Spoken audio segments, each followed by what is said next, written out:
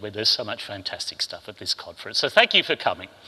Uh, so I'm really just talking about, well, I'll tell you in a second. I'm really just talking about Open Source Industry Australia, our experience pretty much over the last year in interactions with, with government. So uh, I'm an open source developer.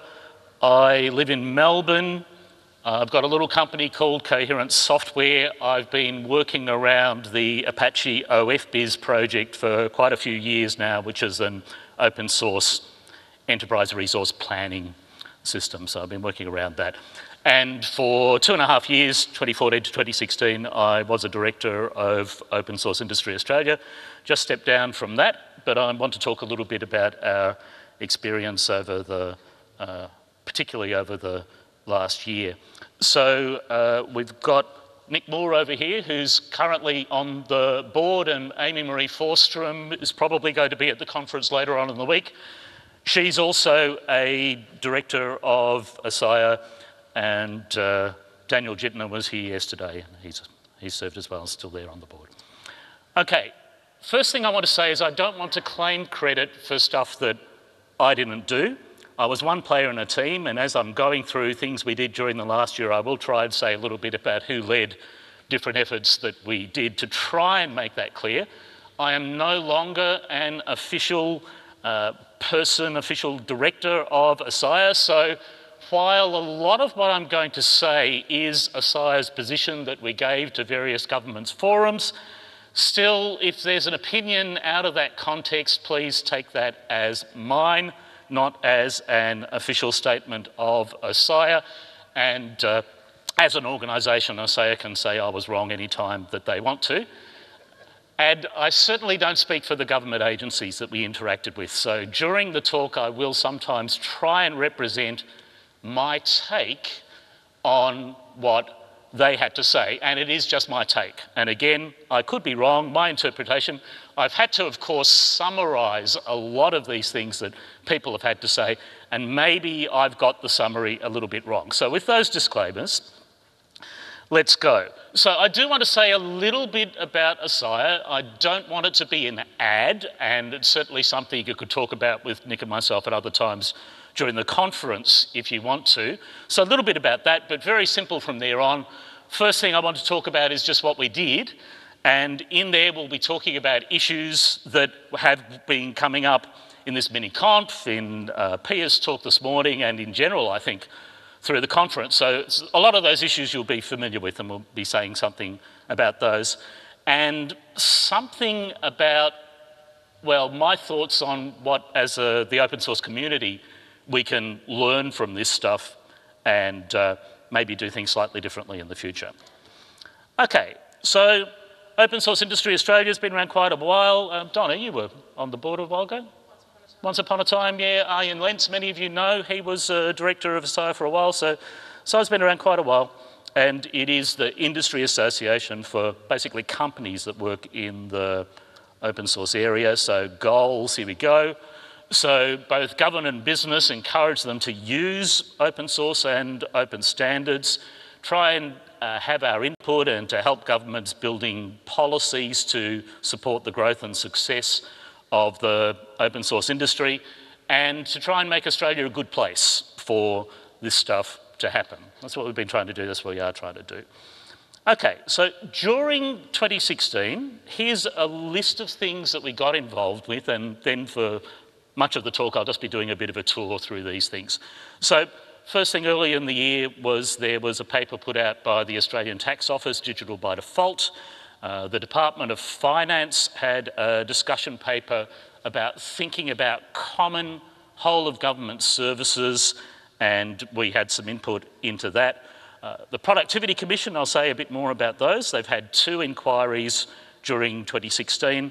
And the last thing I'll be talking about is there are, in fact, not one but two committees of the Australian Parliament that have been looking into the Trans Pacific Partnership, the TPP. So I'm just going to be touring through those, say a little bit about our inputs, what we had to say or what OSIA had to say in there, and sometimes a bit about what these various government agencies had to say as well. So, first up, digital by default. So, this was fairly early in 2016. And we came up with a response to a discussion paper from the Australian Tax Office. They're talking about encouraging digital services, encouraging people to use those in preference to other ways of exchanging and submitting information to the Australian Tax Office. Uh, a goal having simpler, more streamlined services. So I had a fair bit to do with putting together our submission there. By the way, every single one of these that we're going to be looking at are available on the OSIA website, so you can have a look at all of these for yourselves. You can download them from the OSIA website, which is simply osia.com.au. Okay, so one of the things we highlighted to the tax office was trying to get the left hand and the right hand of the government to talk to each other. So the Digital Transformation Office, which during the year uh, evolved into the Digital Transformation Agency, uh, they, so everything we said here, it comes from their basic principles. So they've been advocating open standards, common government solutions, uh, opening up source code, making it open and reusable, and being platform agnostic, uh, being able to get to ATO services from uh, platforms, browsers, and devices. And I think the Australians in the room will know that the ATO's had a pretty poor history here where they have had online things. There's been a, limits in which platforms you could use to, to get to these things. So uh, as I said, our submission to them uh, in response to their discussion papers on our website. So we advocated for unencumbered open standards, data formats and APIs. One of the things in the middle of digital by default is there's an XML-based thing, XBRL, uh, for exchanging business information. And sadly, there are patent claims around that. Now, the Australian Tax Office can't prevent somebody from applying for a patent. And around standards, there's this general issue about are they patent, uh, patent encumbered? And there's this phrase I've got here, reasonable and non-discriminatory. So in some circumstances, some standards, there's this thinking that, well, if you have to pay a royalty to use a patent, provided that royalty is reasonable and non-discriminatory, maybe that's okay, and as a general proposition, the SAI is saying, no, there really shouldn't be. So any of these things should be freely, uh, able to be freely implemented. And of course, from the point of view of creating open source software, if there's any sort of, of royalty at all that's necessary to build some software that implements a standard, that's a real barrier to entry for the open source community. So while the tax office can't, or other government agencies as well, while they can't prevent somebody trying to apply for a patent that builds on a standard or is necessary to implement a standard, they can participate and do participate in standards formation and we've tried to encourage them to vigorously oppose that, to be aware of that, to watch that, and when they are trying to build standards, to uh, try and make sure that this doesn't happen. The other thing we suggested is that they can uh, curate test data and test suites to make it easier for software developers to build software that meets this sort of stuff. Uh, we talked about the tax office using open source more for their own systems, uh, for things like example implementations. And we advocated for using the digital by default process to simplify and replace their own processes rather than adding something new or adding some new layer of complexity. And the other thing we said is, well, we had a fierce argument quite a while ago about the Australia card in Australia, which ended up getting uh, abandoned. And we really suggested that digital by default shouldn't be a way of introducing that stuff by stealth. In the digital by default discussion paper, there was some I think they're contemplating trying to not just encourage people to use online digital processes, but compelling them to in situations where the tax office thinks that that's uh, feasible. So we said really the ATO shouldn't be judging anyone's business strategy, shouldn't be judging for any organisation cost effectiveness, people should be doing that for themselves, or people's ability to negotiate these things. All of those should be our decisions.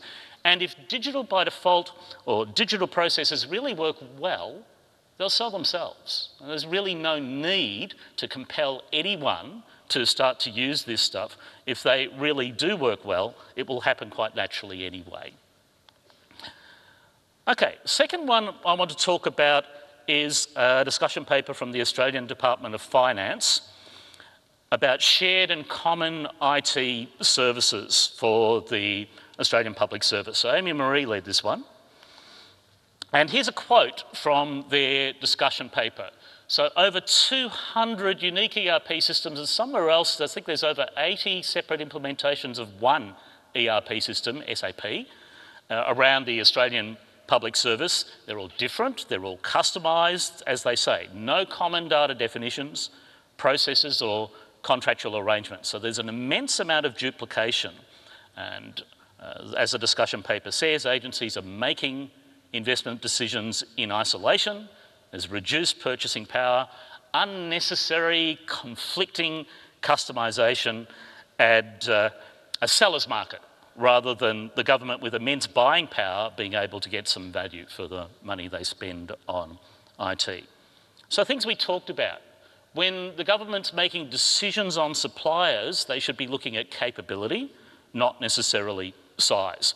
And when we have shared common code, there's more scope for consortiums, for uh, people to participate, rather than just having one supplier we make the point that open source enables a genuine competitive marketplace for support.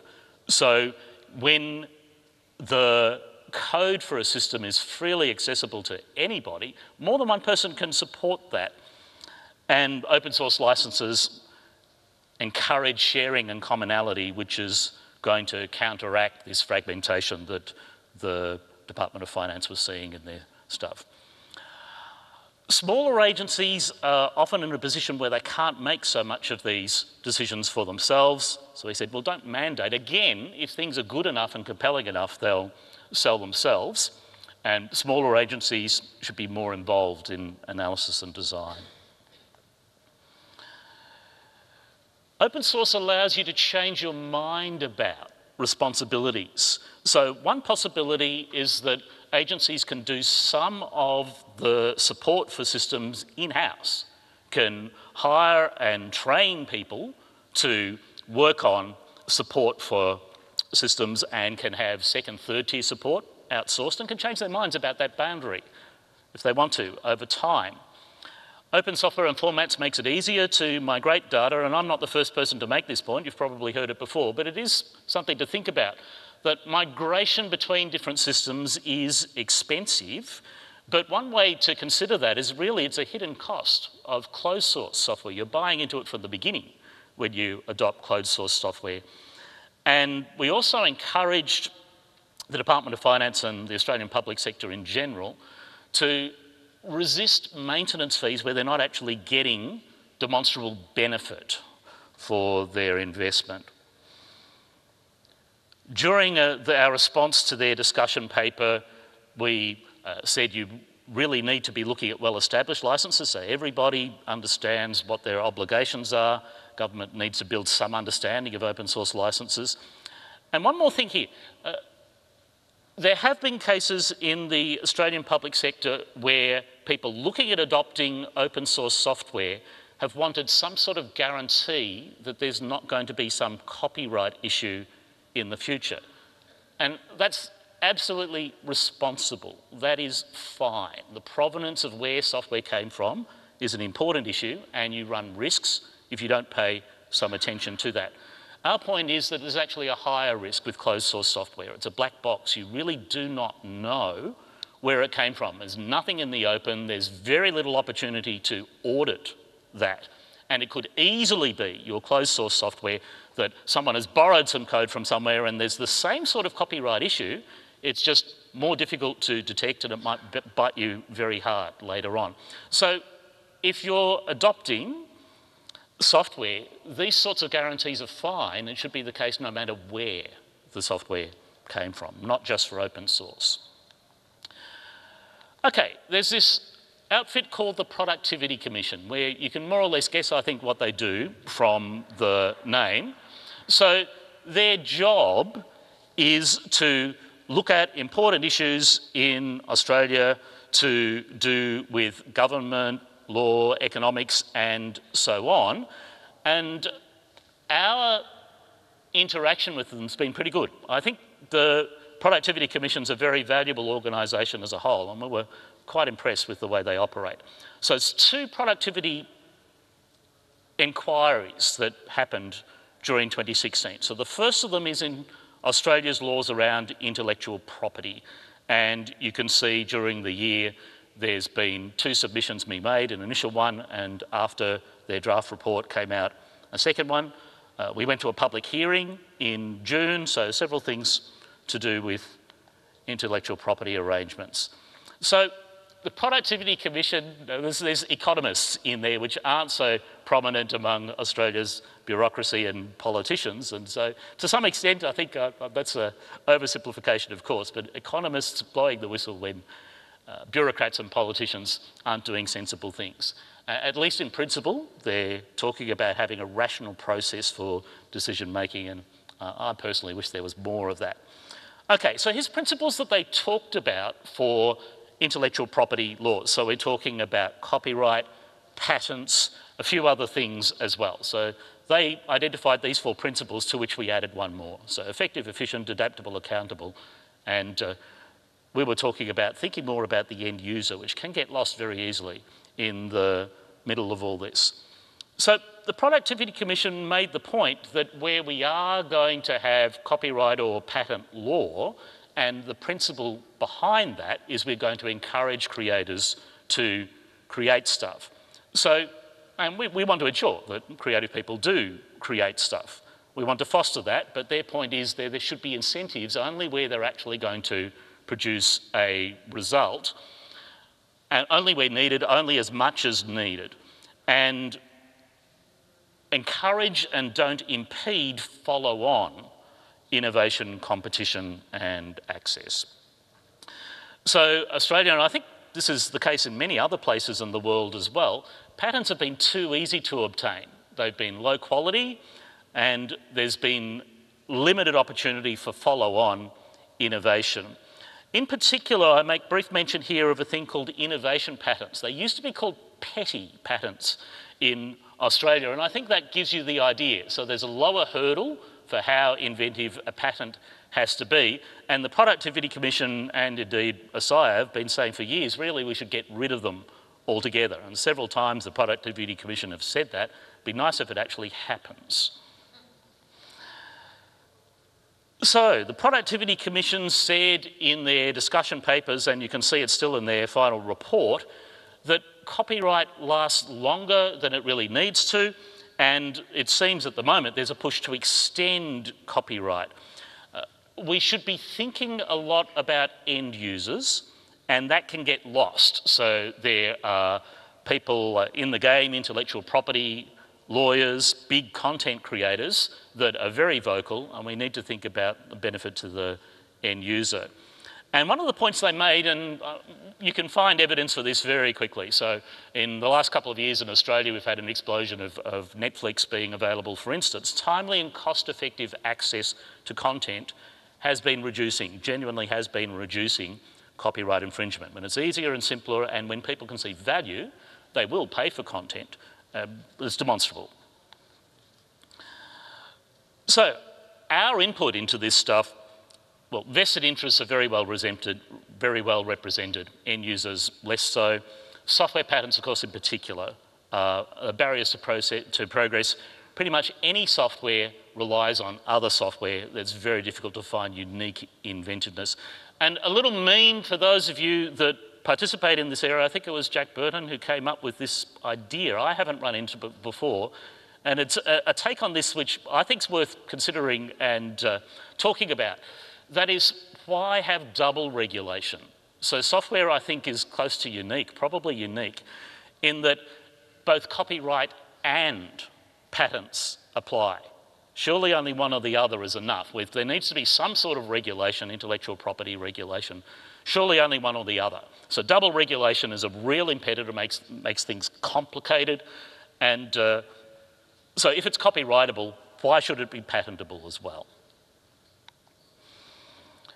Free access to commons has tremendous value, and I don't think I need to, uh, I think everybody in this room is familiar with that idea.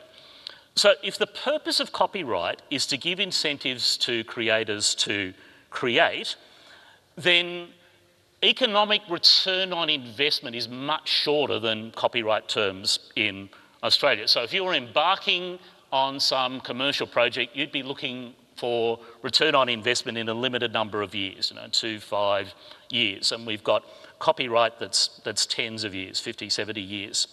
Uh, authors certainly don't need it after they're dead. There's no further incentive. So uh, extending it beyond an author's lifetime, there's no point to that. Governments don't need it at all. They're still going to create content. We don't need incentives for governments to create new content. In fact, it would be great if they could uh, make content a bit more concentrated and punchy and a little less of it. That would be a good thing. So governments don't need it at all. So crown copyright's a very curious idea. So we said reduce copyright terms, don't extend them. The other thing that we talked about was explicit provision for Creative Commons and open source in Australia's Copyright Act. That would be a very useful thing. One of the things in the middle of this stuff is trying to treat embedded software as a special case for patents. So in New Zealand, software is no longer covered by, uh, patents don't apply to software anymore. There's talk of it in other places in the world.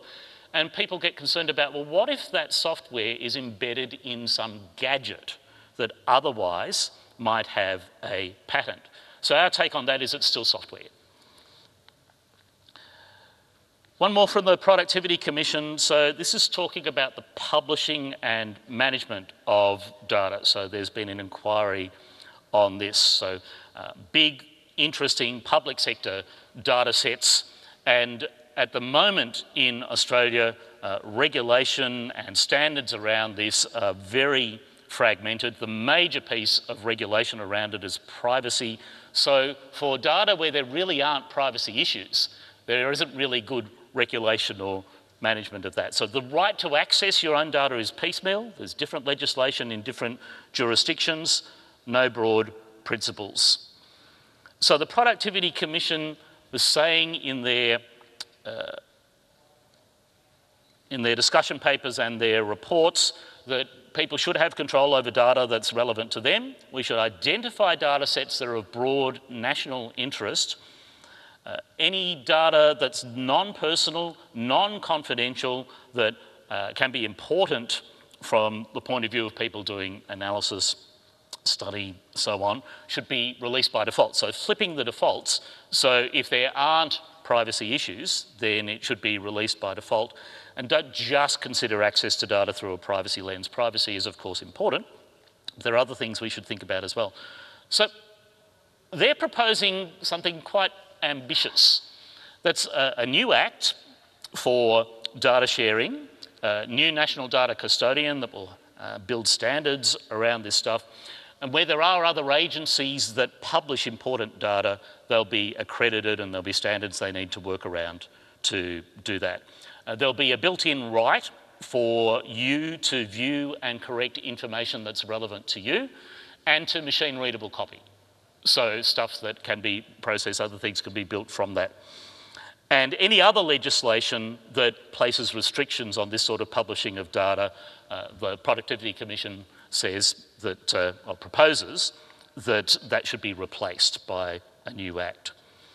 So they were asking during this process these sorts of questions. So what makes a good data set? So this is what we had to say here. So accurate, complete, significant, timely.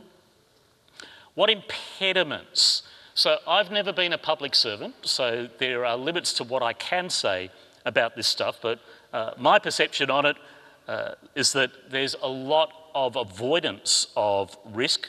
People get punished for doing the wrong thing, don't get rewarded for doing good things, and the result is they keep their heads down. False sense of ownership. Uh, agencies have data which is already being gathered at taxpayer expense, And if we've paid for it, we should have access to it, and that's not, not always the case. Agencies trying to make commercial return out of data that they've gathered at taxpayer expense, and fragmentation, one-off thinking and projects. Another question they asked was how to use data better. So we made the point here that if you have structured data, it's not too hard to create something human readable out of that. Going in the other direction is difficult.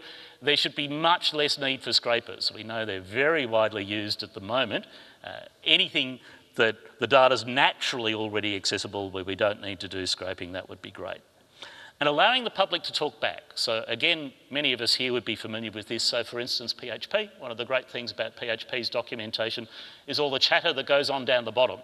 So when documentation is poor, misleading, incomplete, you have the chance to say something about that. So we proposed allowing the public to talk back and say more about that. We suggested standardising collection and sharing and using metadata. Now, TPP, okay, I'll need to go through this fairly quickly, but there were two parliamentary committees that have looked into this. The first one is Joint House of Representatives and Senate, and then there's a second one that came along later on in the year. So both of these were looking at the TPP. Uh, there were submissions we made to both of them. There was a public hearing that we went to. So as you can see, SIA Director Jack Burton led a lot of that. So TPP, you're probably familiar with, a free trade agreement between uh, Pacific Rim countries to reduce trade barriers and tariff and so on. A lot of the TPP really isn't about trade at all. So our take on it was we recommended to the government, or our, our statement was it shouldn't be ratified. Uh, a new agreement, we're not against free trade, and we certainly don't want negotiations to occur in secret. For intellectual property in particular, there's a chapter in the TPP on that. There are already worldwide agreements on that stuff, so we really don't need regional ones for intellectual property. Uh, investor state dispute resolution gives rights to overseas companies that Australian ones don't have. We've talked about copyright before, and that was certainly in there, and TPP contemplated extending copyright. So, what difference did we make? I think we've seen a growing awareness of open source in the public sector with maybe some hesitancy to actually adopt it. Uh, the Productivity Commission quoted several times things that we had to say. Uh, we certainly don't claim all, or even most of the credit, but maybe we had something to do with the TPP has stalled. Uh, maybe we had something to do with that. Politicians, I think we had less influence over. I think often they've pre-decided policy permissions and we've had limited influence over them. So, lessons learned. I think looking back on it, that we could, and I would encourage anyone in the future, we've got other open source uh, associations and so on, and several of them that are working in this sort of area. I think we could do more in the, in the open. We're used to building code bases and contributing revisions and so on. I think we could do more of that in the open. There's a real danger for some of these things of regulatory capture that the insiders get a say and the general public does not. And in general, we'd like to see and encourage reasoned decision making. So if you're interested in this stuff, you can help. Uh, certainly, if you're involved at all in a company, a business in open source, we'll have a look at Open Source Industry Australia, but other, other places as well. So, of course, Linux Australia, free software, EFA, all of those. And there's OSIA's website there, osia.com.au. Uh, thanks to Donna and Deb for today and to the OSIA directors who participated in this stuff. So thank you.